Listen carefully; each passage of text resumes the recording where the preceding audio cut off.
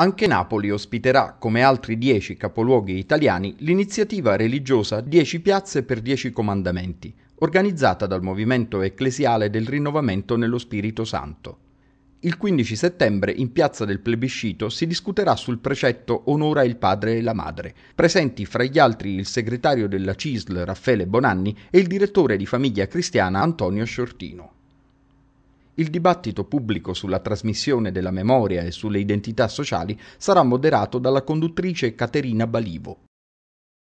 La versione cattolica dei Dieci Comandamenti, che differisce da quella ebraica, è basata su una tradizione che risale a Sant'Agostino.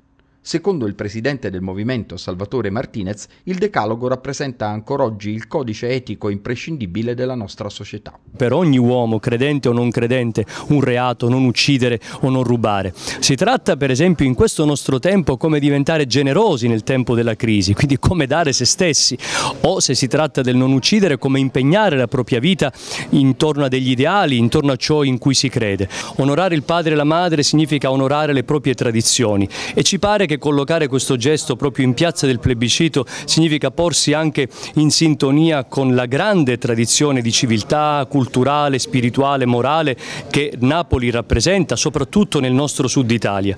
La manifestazione, che ha il patrocinio del Pontificio Consiglio per la promozione della nuova evangelizzazione, è partita a Roma l'8 settembre con una riflessione sulla crisi della fede nell'uomo contemporaneo.